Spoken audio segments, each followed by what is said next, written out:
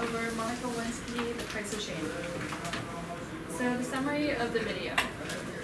So it starts out talking about the Lewinsky scandal, and the Lewinsky scandal was um, like a political sex scandal between Monica Lewinsky and President Bill Clinton.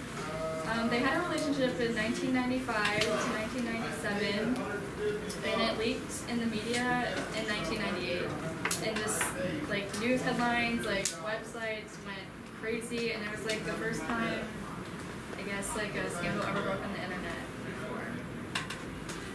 So Lewinsky goes to talk about how, from her personal experience, like how cyberbullying affected her and it affects others. So she gave an example of Tyler Clementi, um, how he was recorded being intimate with another guy, and it was leaked by his roommate, and he was just so like, I don't know, publicly humiliated that he committed suicide, and it just affects people. So basically, think before you shame, or just don't shame at all. so the credibility of the speaker. So Lewinsky was part of a scandal, and she's known as that woman, so she has a reputation. Um, she is um, able to provide evidence from her experience and facts from databases and stuff like that. Um, she has a lot of personal experience, but no education. I don't know. Um, and she's like very one-sided when it comes to. She speaks on one side. So, for my lens, I chose cultural and social, and basically it impacts like the impacts that cyberbullying has on everyday life.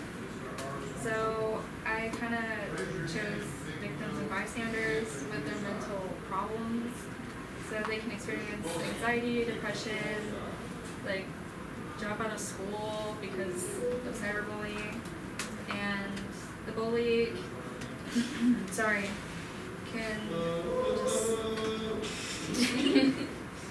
um, just do violent behaviors like abuse or criminal activity.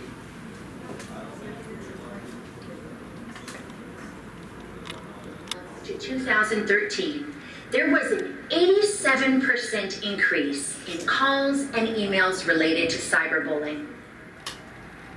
A meta analysis done out of the Netherlands showed that for the first time, cyberbullying was leading to suicidal ideations.